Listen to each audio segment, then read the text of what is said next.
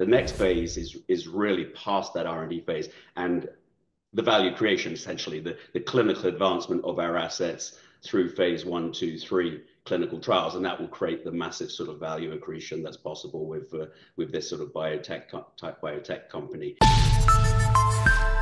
right, welcome back inside our Proactive Newsroom. Joining me now is Darrin Disley. He is the Executive Chairman of Cardiogeni PLC. And Darrin, it's good to see you. How are you? I'm good, thank you. Thanks for having me. Yeah, well, today is a monumental day for the company. Congratulations, you're officially trading on the AQSE uh, growth market under the ticker CGNI. So first off, just getting to this point, I imagine a lot of work took place. Yeah, it's been a long journey. So the company was founded by Nobel laureate Sir Martin Evans uh, and Ajan Reginald back in 2009. And they essentially spent a long time in sort of, if you like, uh, development of a platform that enables them to develop patented therapeutic cells that can perform regenerative medicine. And the kind of key application is in the regeneration of cardiac tissue. So the cells are treated when you have bypass graft, for example, to give you a much better therapeutic output from, from bypass surgery. Yeah. Um, so what does this mean for the company being on on this particular market? It opens you up to a lot of different things, correct? Yes, indeed. So so far, we've been focusing on the the preclinical advancement of assets and development of technology. And just in the last few years, we've performed a number of clinical trials with these heart regenerative medicines and got very promising results. The next phase is is really past that R&D phase and the value creation, essentially, the, the clinical advancement of our assets through phase one, two, three clinical trials. And that will create the massive sort of value accretion that's possible with uh, with this sort of biotech-type biotech company around there. So access to capital is a primary reason. As you know, it's been more challenging of late in the biotech markets, particularly with typically the public markets not being open to earlier stage companies, more open to sort of clinical stage companies. So for us, it's it's a really great opportunity to be positioned with phase two clinical assets moving to phase three with relatively short-term for biotech sort of value accretion proposition to access new capital, whether that be institutions, family offices, or a PIPE facility that we've managed to put in place that will be be with us there to underpin uh, future fundraisers on the public markets.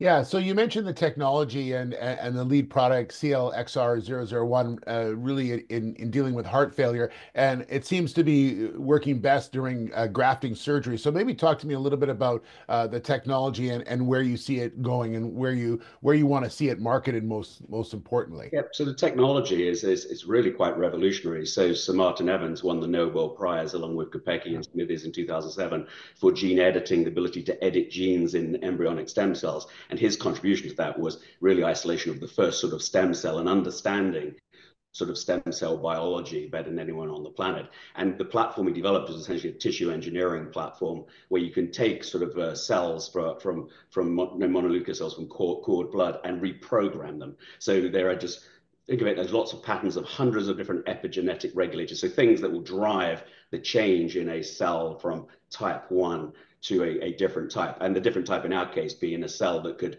create regenerative properties in in, in tissue. So that had been really developed and characterized and patented, et cetera. And then a range of different cell types were produced that were patented. And there are 100 sort of granted patents or applied for patents around our sort of key therapeutic products around this. So that was the key. They were patented, not considered natural, and they had a desired therapeutic effect in preclinical testing.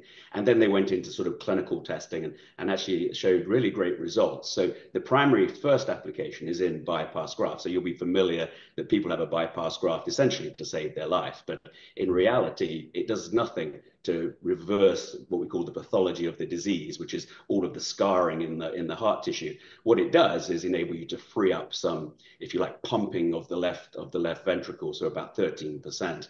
But it means most people post-bypass have a a pretty difficult life. You know, you probably got familiar with relatives who have problems walking upstairs and wheezing. And you know, it's not a great quality of life. So our cells are, are actually designed to both improve that sort of function of the heart, if you like, but also reverse the pathology pathology by reversing the scarring in the tissue.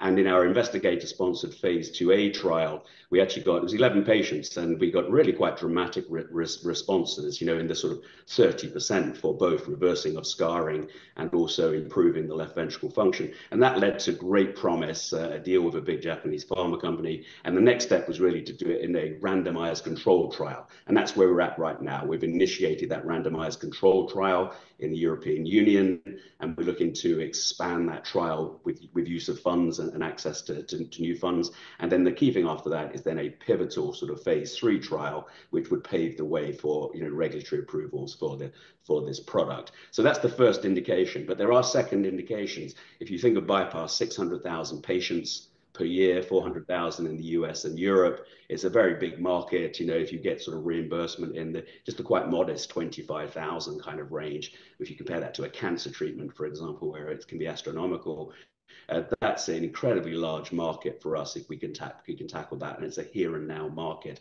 But the bigger markets are actually in earlier stage heart failure, where people use catheters to put stents in. You're familiar with stenting in the heart. If you can deliver the cells while the stent is and actually prevent that uh, if you like, degeneration of the tissue, which could then lead to to sort of heart failure and the need for bypass. That's the, a bigger application, around 2 million patients per year. And then for myocardial infarction would kind of be the dream, if you like. So essentially some form of pro, you know, treatment prophylactic for that. So again, a, a large patient population there as well. So, so the starting is bypass and accessing the markets may give us opportunities to initiate new phase one trials in these larger indications. And, and lastly, uh, mostly uh, in the European Union right now, but are you are you down the road? Is it is it obviously North America is a, place that you feel? Uh... It's the biggest market, yes. So our, our, our patents on the on both the manufactured cells, the intermediate, and the therapeutic cells have been granted all over the world. So these okay. are fundamentally granted patents on the medicine's composition of matter. So in the US, uh, 34 jurisdictions in in Europe, in Japan, etc. So we're very well set up. We're, we're doing a beachhead trial in, in Europe, but obviously that can translate to then a trial in in the US. And when we do a pivotal phase three trial, we'll pick a jurisdiction that has a strategic, real interest in cardiovascular disease. Maybe has a real problem in that, and then can again provide a beachhead for regulatory approval, which we could then uh, start translating into into the US. Well, exciting times ahead, and it all starts on the first day of trading. Congratulations on that once again, Darrin, and uh, great to see you. And we look forward to following the story. Okay, it's a very exciting one. Really appreciate your time. Thank you so much. All right, there's Darrin Disley. He's the executive chairman of Cardiogeni.